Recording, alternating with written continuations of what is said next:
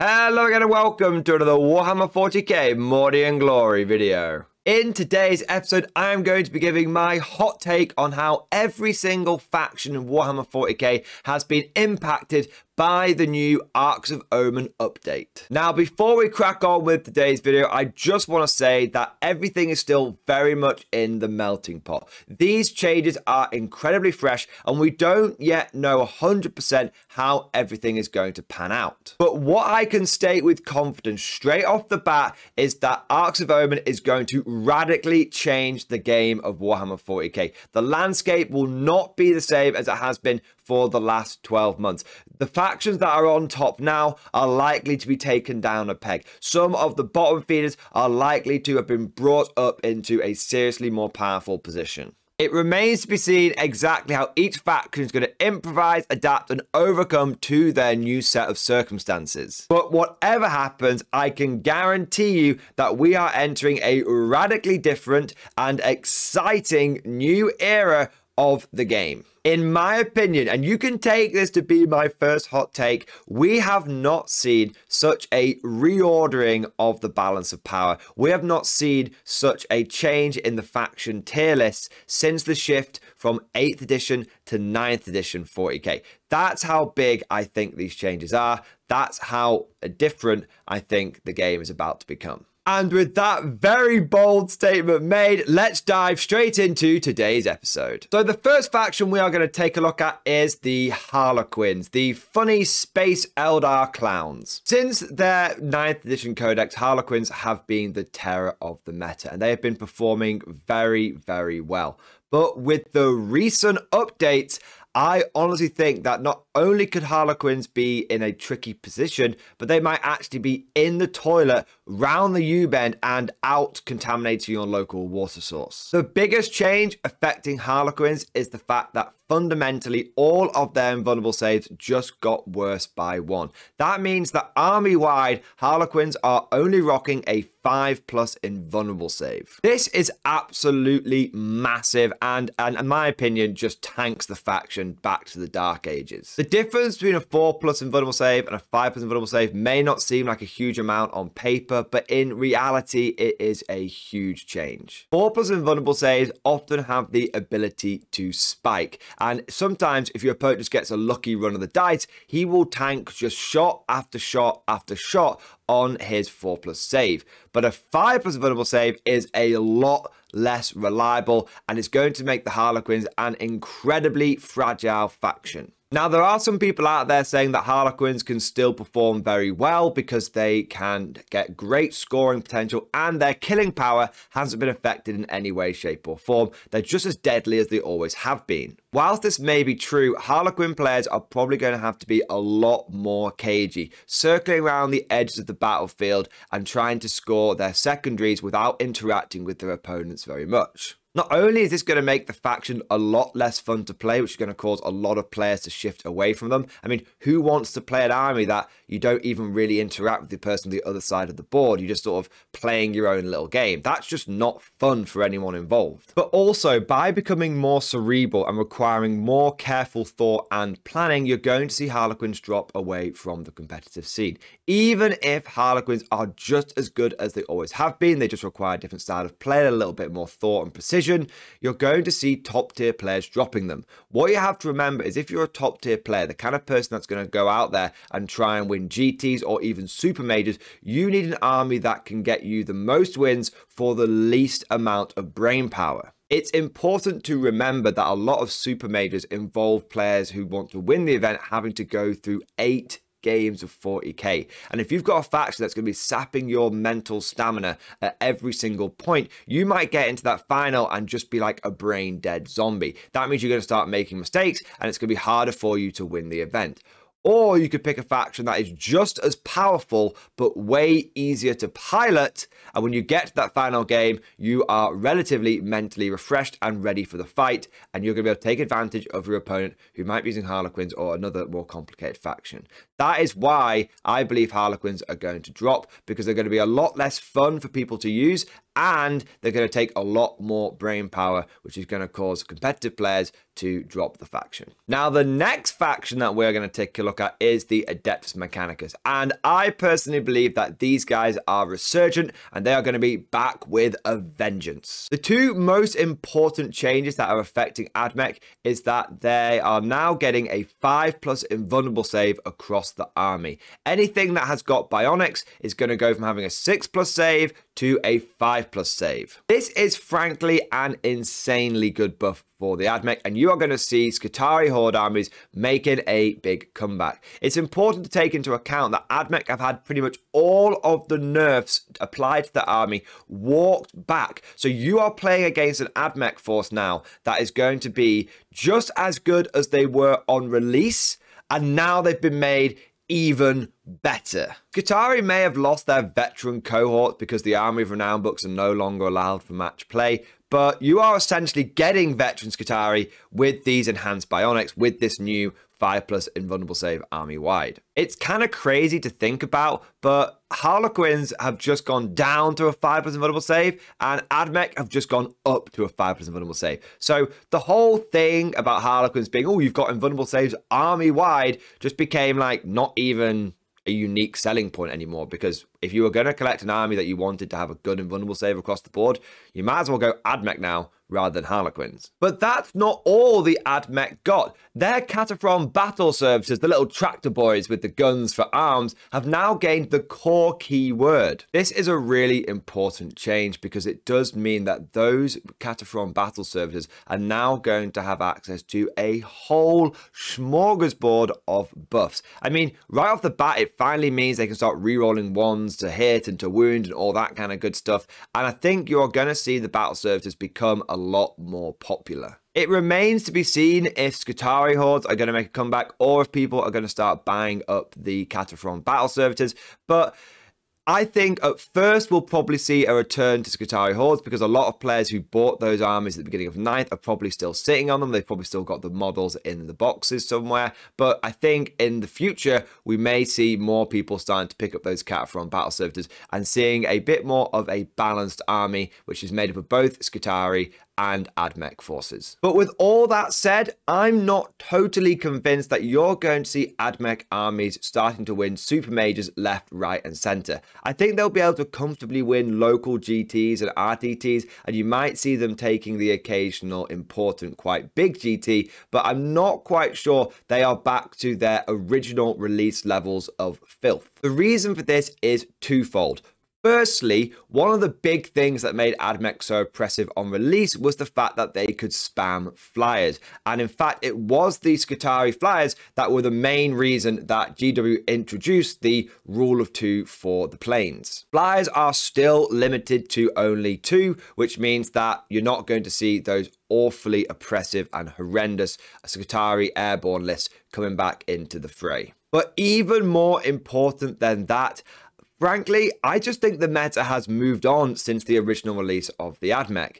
When they first dropped, they were one of only a handful of factions that had a 9th edition codex. Basically, the beginning of 9th edition was just Marine Codex after Marine Codex after Marine Codex coming out, and then Dark Eldar, and then AdMech. But since then, pretty much every faction in 40k has received their new codex. A lot of factions are in a much better spot than they once were, and so I think relatively, AdMech are going to settle into a nice B plus tier position in the meta. But moving on, now let's take a look at the Chaos Demon Boys, and they have caught a bit of a nerf. Flamers of Tzeentch no longer auto hit. That means that they're going to have to roll to hit, and they only have a ballistic skill of 4 plus. This is a really significant and interesting update to the faction. It's significant because a lot of demon players were leaning heavily into flamers, and they were one of the more hated faction units for the Chaos Demons. A lot of people have been clamoring for Flamer nerfs since the Chaos Demon Codex dropped. They are considered to be quite oppressive. I think Flamer nerfs were inevitable, but I don't think anyone saw Games Workshop going in this direction. A lot of the solutions that I saw people proposing was to limit the unit size to a maximum of three or to give them a pretty hefty points increase. But Games Workshop didn't do either of these traditional balancing mechanisms and instead they went for something a lot more interesting because it's got some pretty big implications. We, as far as I can remember, we've never seen Games Workshop fundamentally alter a weapon profile like this before. It's just a fact of life in 40k that flamers auto hit. It doesn't matter if it's a hand flamer, a regular flamer, or a heavy flamer. It doesn't matter which faction it is. If it's a flamer type weapon, it auto hits. But now that's no longer the case, and a precedent has been set for Games Workshop to tweak weapon profiles of other things as well. But however you slice it, one of the most powerful units in the Demon Codex just caught a big old nerf back to the face, and we're going to have to see how Demon players pivot and what other concoctions they come up with to adapt to their new circumstances. Next up, we have the Aeldari, the old pointy ears, and they've had a nice little boost to their Fire and Fade stratagem.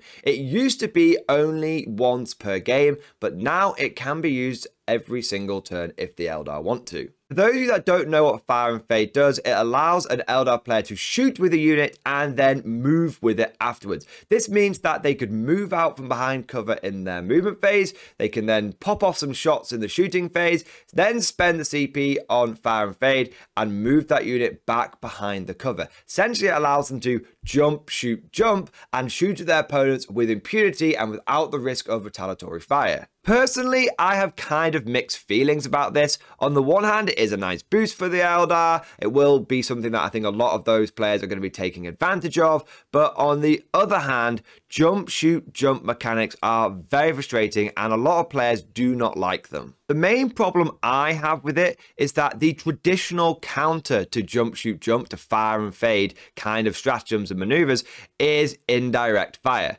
Because it doesn't matter if you want to jump, shoot, jump, I'm going to land some artillery shells on your head, and I don't need to be able to see you to do that. But as you know, Games Workshop has heavily nerfed indirect fire in 9th edition. And without the ability to have good indirect fire, a lot of factions just won't really have any way of trying to counter this cheeky tactic. Assault armies might be alright because they can breach through walls and move forward and just get in amongst them and chop them up. But for shooty armies, it might become very annoying trying to deal with the Eldar. After the Eldar, we have the Chaos Space Marines, and they have had a big nerf to one of their subfactions. The creations of Bile Fight on Death has been majorly toned down. In fact, it no longer automatically goes off Instead, you have to roll a 4 plus to see if you fight on death. And even if you do, you count as only having one wound, which is important for those units that degrade with the less wounds they have. Creation of the Bile was, without a doubt, one of the strongest sub-factions that the Heretic Astartes had available to them, and it was the cornerstone to a lot of their competitive builds. With this change, I think you're going to find that Creations of Bile is dead on arrival, and we're going to have to see what Chaos Marine players can do to move into a new style of play. I have heard that some of the new Chaos Space Marine secondaries allow them to pull off some really cool shenanigans, but overall, I am wondering if the creation of Bile Crutch being kicked out from under them is going to cause a bit of a decline in the faction. This nerf comes at the same time that Armor of Contempt is being removed from the game. So not only is the main combat punch of the Chaos Space Marines being toned down, but also their overall durability is taking a big hit as well. On the plus side, their Legionnaires do now get access to some free war gear, and this could mean that we start seeing the rise of some old school traitor legions with big blocks of Chaos Space Marines moving around the battlefield with very point efficient loadouts. Next up, we have the true Emperor's finest, the Imperial Guard, the Astra Militarum. The regular humans of the Imperium received no major changes or updates in the balanced data slate. Basically, our codex has only just dropped, and so they're not messing with it yet, but officially, the Guard Codex isn't out for release yet, along with the rest of the models. We've had Cadia stands, but we've not had the standalone Codex available for general purchase. So there may still be some nerfs in our future. We all know that Games Workshop likes to do a cheeky little two-week FAQ after many codexes drop. But for now, no changes is good news for the boys in green. And I think Guard are going to be in a position to really take advantage of the new lay of the land. I mean, we we are entering into a shooty meta. If you look at the factions that have been nerfed, you look at the factions that have been buffed, it's pretty clear that we're going to be seeing the rise of more Horde armies and also a lot more shooting is going to be taking place. Well, I have said this for a long time, but if you want a good Horde shooty army, in fact, if you want the best one, you should be looking at the guard. Combine this with the fact that Arm Contempt has gone the way of the Dodo, and guard has easy access to high AP or AP boosting capabilities across the army. And I think that those Marine Horde armies that are being predicted are going to melt away quickly in the face of a guard firestorm. Now, whilst our codex hasn't been updated, our secondary objectives have had a couple of big changes. Firstly, special orders has gone. The only secondary objectives that you have that are faction specific are by Lasgun and Bayonet, boots on the ground, and inflexible command. I'm really sad about this change. I like special orders, and I found that if you built into it and got good at using that secondary, you could get 10 points in it fairly easily every game. In contrast, if they were going to get rid of one secondary, I would have preferred if they got rid of by Lasgun and Bayonet. It really just isn't very good. You don't tend to score more than six or seven. If you're lucky, you might get eight points on it. And so it's just not a very good pick. So essentially, Guard don't have three secondaries to pick from. Realistically, you only have two, and that's going to be Boots on the Ground and Inflexible Command. And then you're going to have to decide what the heck you're going to do for your third one. On the other hand, Inflexible Command, which was already our best secondary and was pretty much an easy 14, 15 points every game, just got even better. I'm not going to lie to you boys, if you're not maxing out a flexible command by turn 3, at the latest by turn 4, then something has gone horribly wrong for you. The new inflexible command allows you to score 2 victory points if your infantry are within 6 inches of your officer. Of course, if you've got Vox casters, then that could be 24 inches of your officer, just like it is now. You can also score a victory point if your tanks are within 12 inches of your officers as well. What's really important to note here is that it's no longer a requirement for tanks to be in range of tank officers. Tanks just need to be in range of any officer. That means if you've got a bunch of Leman Russes within 12 inches of a Cadian Castellan, they will still count towards your inflexible command points. This makes it much easier and ironically means that it's not very inflexible at all. But the icing on the cake is the third part of inflexible command got even better. And the third part is if you kill a unit with one of your units, whilst it is under the influence of an order, you score points. Now, it used to be you scored a point, and they've changed it so now you score two points. That means it is very easy to score five points a turn with inflexible command. That is just bonkers. And there was also another small little buff to mention in that boots on the ground got a little bit easier to do as well. You no longer have to be over six inches away from the center of the board. You can just be three inches from the center of the board and in each table quarter. But long story short, guys, you are going to be taking a flexible command every single game without a shadow of a doubt. And you're probably going to be taking boots on the ground every single game as well. And you're going to have to have a bit of a tricky time deciding what that third one is, but just build around it. If you're taking some Primaris Psykers or other psychic power doers in your army. You might want to lean into the Warpcraft ones, but for me personally, I'm looking at banners as my third secondary. We're just going to have to see what the Arks of Omen missions are like. My hot take on the guard secondaries is that I think they really should have just left Inflexible Command how it was and instead made boots on the ground actually worth taking. If they made it so it was like two points per unit, or you get one point for killing an enemy unit and another point for if they kill an enemy that was on an objective or something like that. That would have made it a bit more useful. But as it is, they've improved the secondary that was already very good. Um, they've improved our boots on the ground that was already pretty good. And now guard is going to be back in that a bit annoying situation where you've got to try and pick a tricky third secondary. So not the way I would have done it, but hell, at the end of the day, Guard are in a great position, and overall, our secondaries just got much better. So, not much really to complain about, boys. Guard a top tier now? Yep, I think so. After Guard, we have the Tyranids. And sadly for the Cosmic Horrors, they are continuing their downward spiral. Nid came out of the gate so strong, one of the top armies in 40k, one of the most powerful codexes we've seen in a long time. And they have just been hit by round after round after round of nerfs. First off, their Maleceptors got taken out back. Then they started having trickiness with Leviathan not being as good anymore. And I think a lot of Tyranids players thought, right, we've had two rounds of nerf. There's no way we can surely catch a third nerf bat. But here comes Games Workshop with the steel chair and with some pretty big nerfs for the Space Gribblies. First off, Overrun has been changed so you can no longer use it on your Hive Tyrants.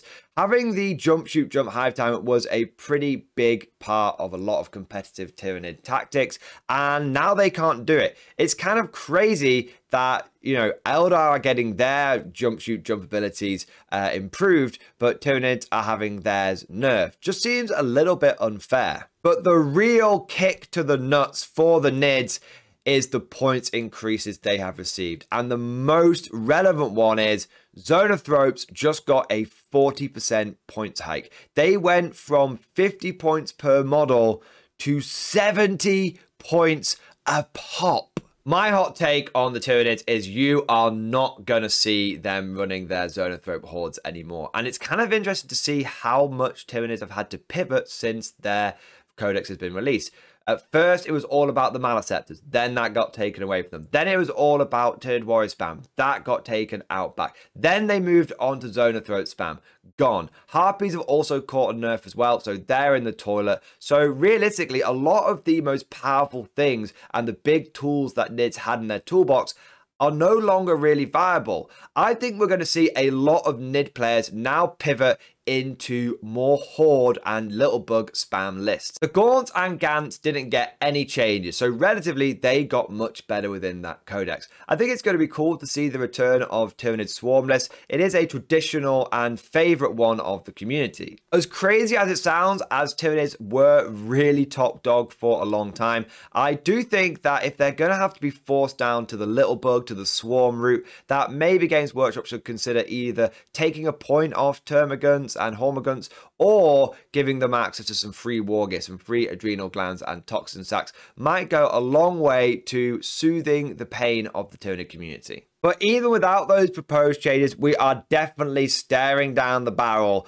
of Tyranid Swarm list. And from the fleshiest of factions over to the faction that probably has the least flesh involved of any army in 40k, it's time to take a look at the Necrons. Necrons have had a little bit of a roller coaster ride in 9th edition. They started off with a pretty weak codex, but successively Games Workshop has layered more and more buffs onto them until it got to the point where Necrons were actually a top tier army that you were being seen used by a lot of great players. Unfortunately for the Tin boys, this time round, Games Workshop has gone in a different direction, and rather than buffing the Necrons further, they've actually toned them down. The main downgrade here is you can no longer combine the pre-game move with the everything gets obsec dynasty. This is going to really reduce the mobility of Necron armies and is also going to make it harder for them to achieve their secondaries.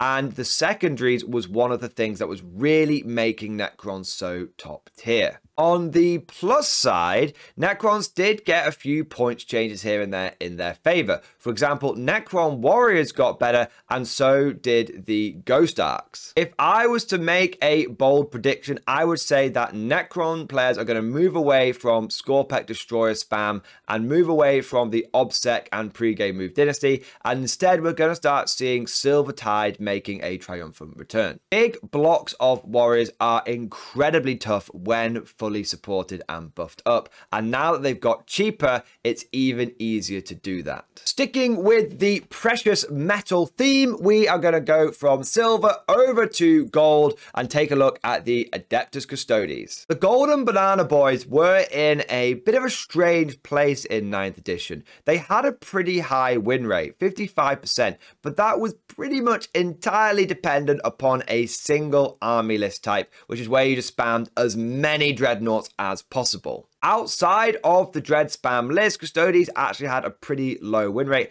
and they were actually struggling quite badly. So Games Workshop has taken it upon themselves to try and hand out some nerfs to the wider Custodian community and to improve the variety of lists we're going to see from the Golden Horde. The first big change that they have made is now all Custodes core infantry gets objective secured. That is going to be a big boost to the Terminators, and I think we're going to see a lot of Terminators being fielded in competitive Custodes lists going forward. Another big change is the once per game limits on some of their most powerful stratagems has been removed. These two changes walk back two of the biggest nerfs that Custodes have received in the past. And whilst I am glad to see the Golden Boys getting a little bit of love, and I am going to welcome seeing some list variety on the tabletop, I can't help but be concerned.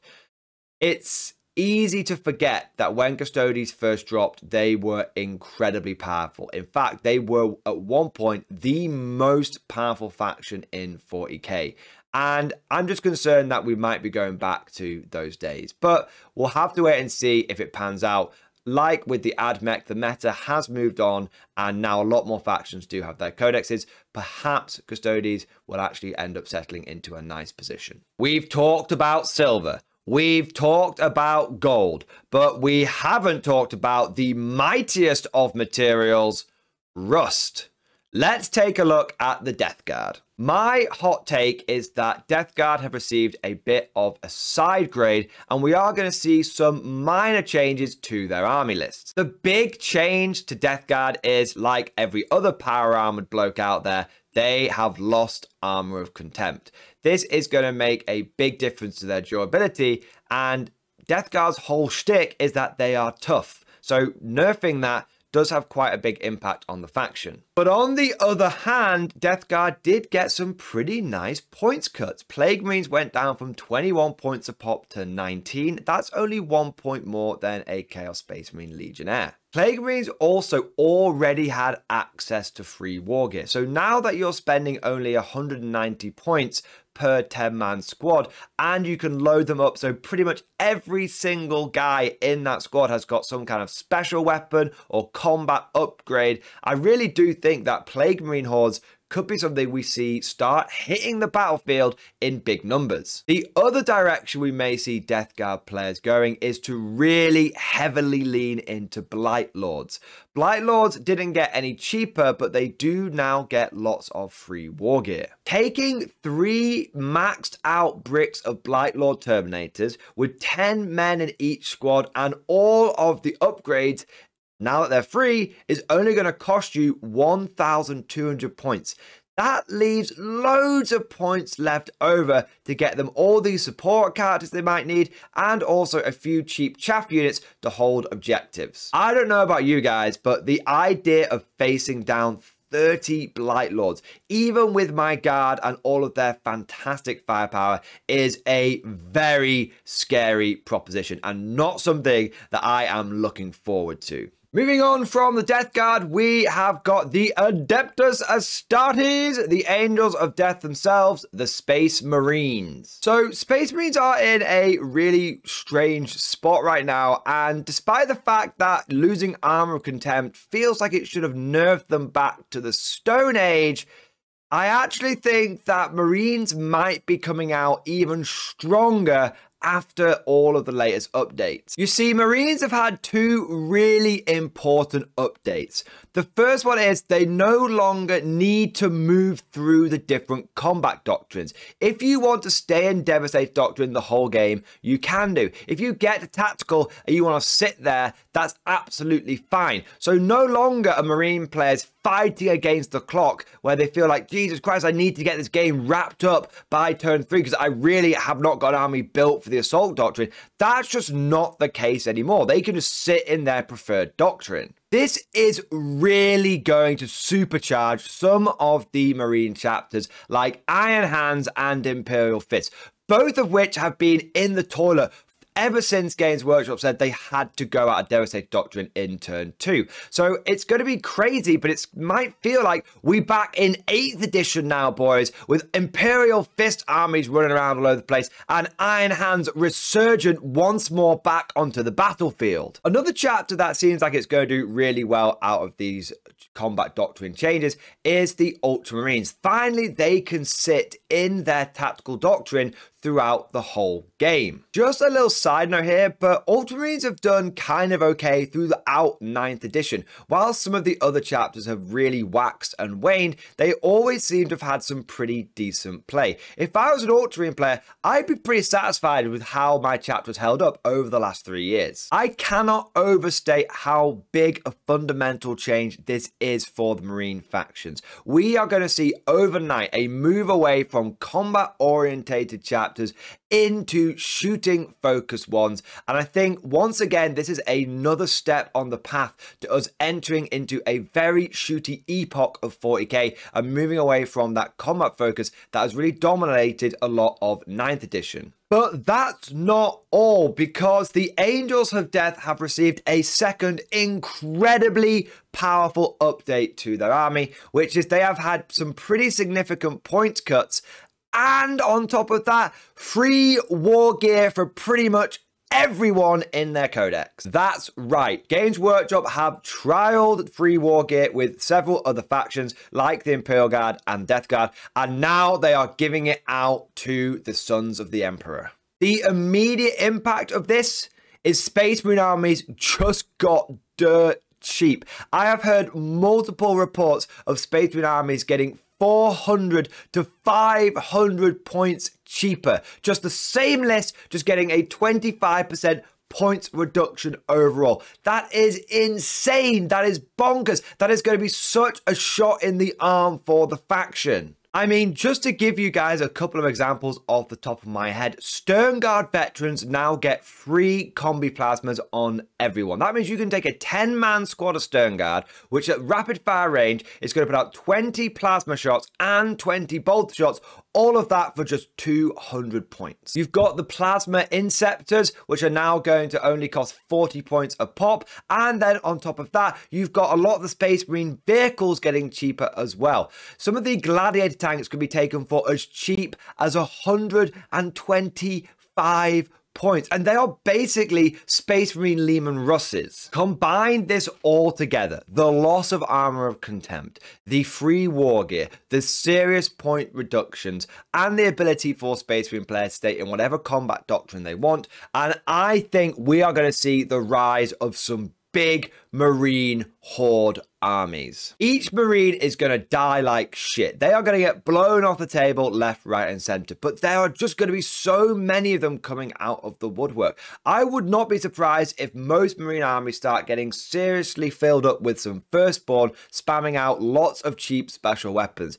If you see Marine players running 70, 80, or even 90 infantry in their list, that would not be a surprise to me in any way, shape, or form. I think what's going to be kind of cool is we might see firstborn infantry taking the lead, but Primaris armor backing them up because not only have the gladiators got cheaper, but the repulsors also seem to have some very favorable points costs now. If Marine Horde armies are going to be on the rise, then I think we could see Black Templars become one of the premier Marine chapters out there. They are fundamentally a Horde Marine army. Black Templar Tide has been a staple of that faction for a long time, and when you start putting the numbers together, you are seeing Black Templar Hordes that can be easily hitting 120 power armored bodies, not even breaking a sweat. But on a total opposite end of the spectrum, I also think that certain chapters, like the Dark Angels, are really going to be able to lean into their Terminators and their Bikers. The Deathwing and the Ravenwing both received some pretty significant points costs, and I think you could easily see Deathwing armies running 40 plus Terminators, all of them with their inbuilt permanent transhuman. What might counter this is how prevalent that the leagues of Votann become. Because it doesn't matter if you've got permanent transhuman, if your opponent is just also wounding you on force the whole time, then you might not see those Deathwing boys make a comeback. Now, if the Marines are making a comeback, then the Drukhari are just treading water desperately. They received no major nerfs or buffs in this update. Now, for major car players, they might breathe a sigh of relief. Their faction has been slowly but surely eroded and nerfed over the course of 9th edition, and I'd say they're probably still paying for the fact that they were one of the first powerful codexes to come out. But the thing is, is that if you get a side grade and a lot of other people are getting upgrades, then relatively speaking, you might have ended up with a downgrade. But speaking of downgrades, Sisters of Battle are in a really tricky spot right now. They lost Armor of Contempt and they got no free war gear or significant points changes. Because if Marines are going to die like shit without Armor of Contempt, you can just imagine that whole bricks of Sisters are going to get picked up in very short order. I mean, I don't care if you've got a 3 plus save. If you're only toughness 3 and 1 wound, you are going to get mown down by everything from shooters, las guns, plasma, just any gun in the game is going to pick you up without even breaking a sweat. So if Sisters of Battle are going to die even easier than Marines are, and once you take into account that you have to pay for all of their upgrades, they're going to cost a very similar amount to their big boy Marine brethren. Really, why would you be picking Sisters at this point? I honestly think that without Armor Contempt and without free war gear, Sisters Battle really are just the poor man's Marine army. And if all this wasn't enough, GW decided to go ahead and rub some salt in the wound, and now the Sister secondaries have also been overall downgraded. Defend the Shrine has stayed the same, which is alright. Uh, Slay the Heretic was removed, but the ones that have been downgraded is Sacred Ground now only nets you 4 victory points, and A Leap of Faith has been completely completely reworked, requiring you to have to expend miracle dice to try and score victory points. And it's still capped at 12 VP a pop. So I'm just not convinced that Sisters are in a good spot right now at all. Next up, we have the Orks, and by and large, the football hooligan mushroom lads remained unchanged. There were some minor bits here and there, but the big thing that's changed for Orks is the lack of Armor of Contempt on everybody else. This is going to mean that choppers are back on the menu, and I've heard a lot of Ork players getting excited for being able to run their green tides again.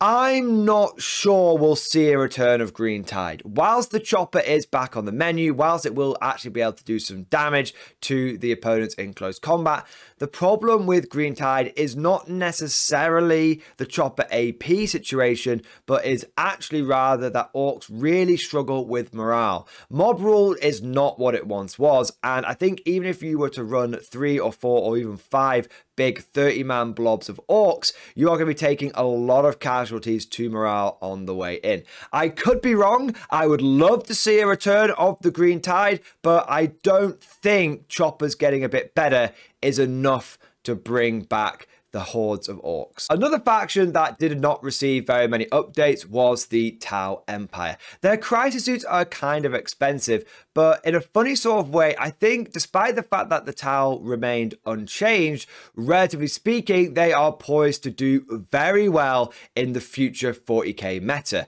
And the reason for that is we are entering a shooting era. I've said it multiple times, guys. And if you are a faction that's whole thing is shooting the crap out of your enemy, then surely you're going to be in a good spot. So I think that Tau are poised to be able to take advantage of the new meta. I think they can bring a lot of guns to bear. They've got good mobility. And yeah, their crisis suits may be kind of expensive now, but they have lots of other options that they can maneuver into to adapt and get ready for the new shooting gallery gallery. And continuing with this trend of factions that did not get changed very much, Grey Knights seem to have been completely forgotten about by Games Workshop. And that is a big shame.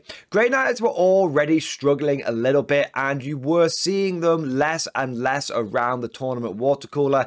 But now the fact that they've lost Armor of Contempt and received no point changes or free war gear means that, relatively speaking, they are probably one of the weaker Imperial factions and weaker Marine-like factions out there at the moment. In my opinion, Games Workshop needs to let Grey Knight spam Smite again. I think that every Grey Knight squad should be able to cast Smite, but it should only do one mortal wound, but that it should only ever cost them a warp charge value of 5. I think that would allow them to feel a bit more unique, not just like Silver Marines, and it's rather than giving them free war gears, you're kind of giving them free smites, and I think overall that would be a welcome addition to the Grey Knight roster, and I think the Grey Knight community would like that.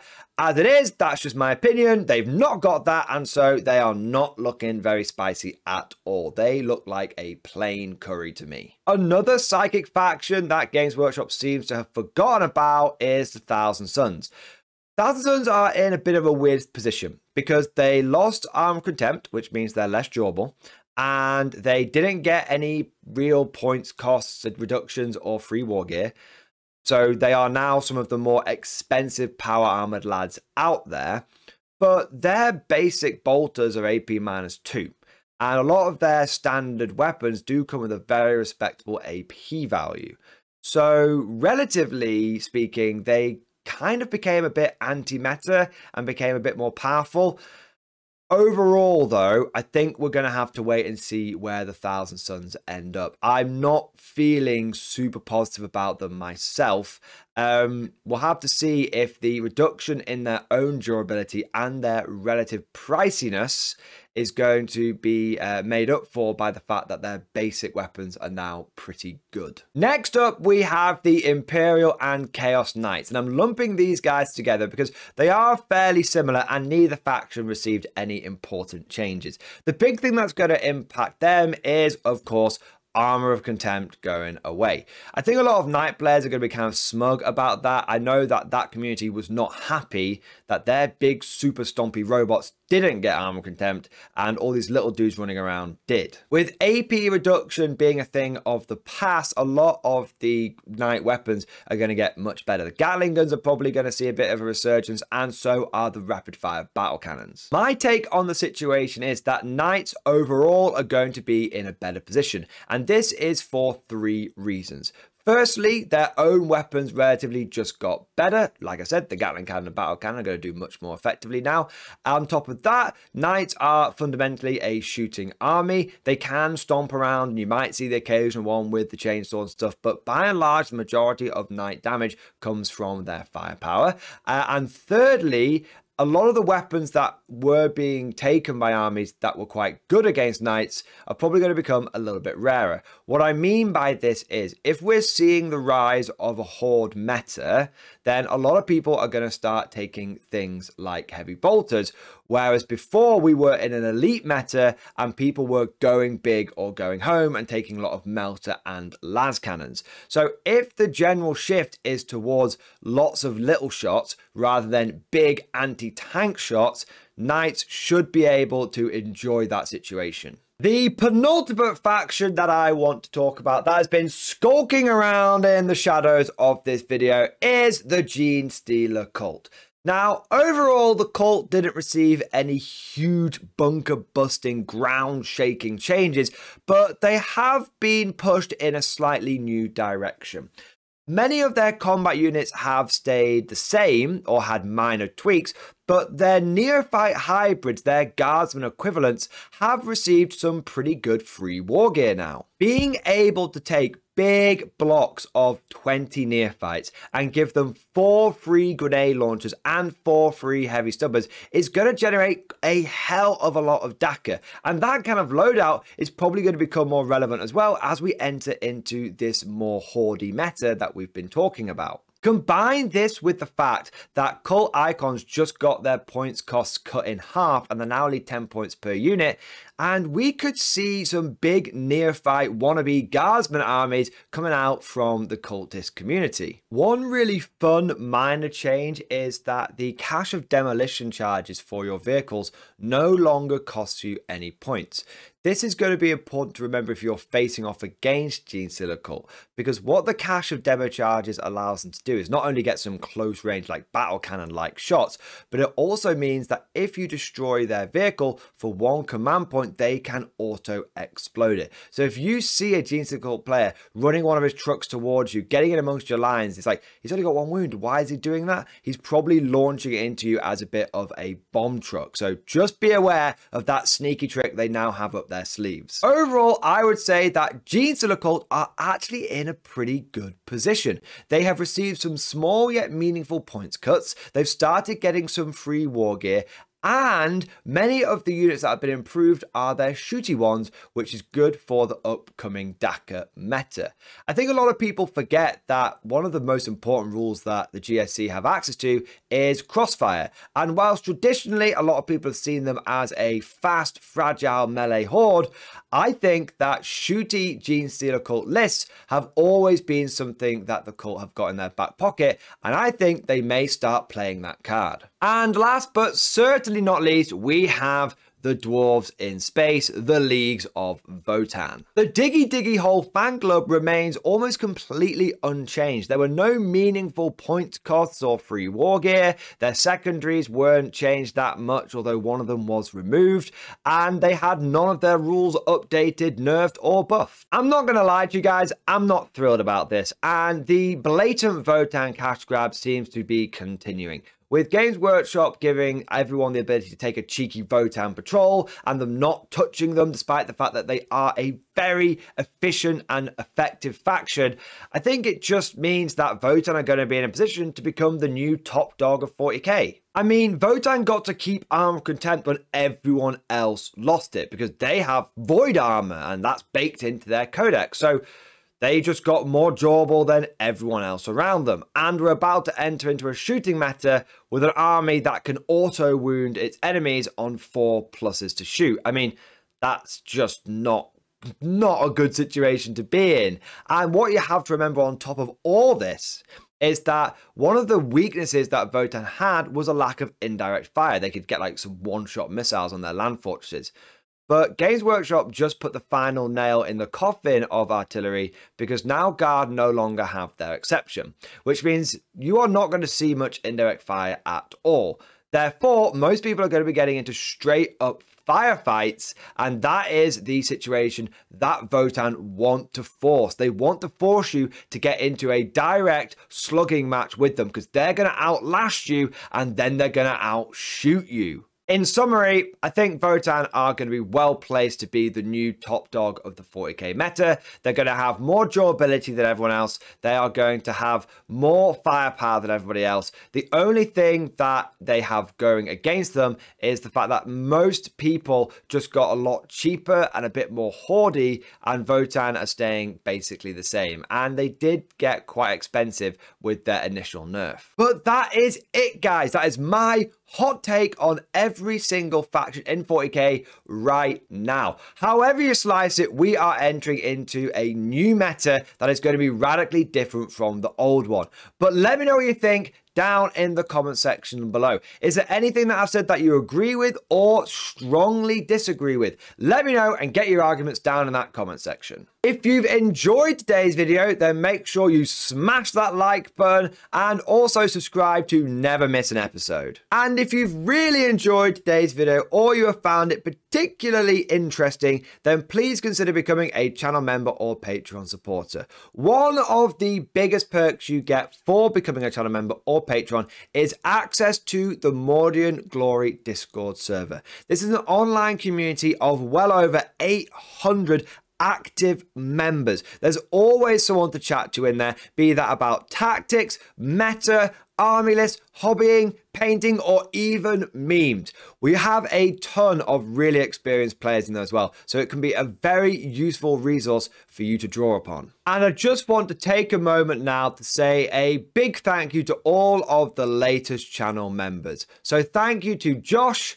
Matthew Holmes, Verado255, Grim Dankness, Chris Downing, Zoltan Hughes, N Stubbs 88, Benjamin Klarman, Marl the Knife, and 13th Century Jackass. Thank you guys for doing your part. I also want to do a shout out to the latest Patreon supporters as well. So thank you to Janet Wicks, Reese Jones, The Bane Blade, Matthew Truell, Ever7 Chun, Alex DePaz, and TS.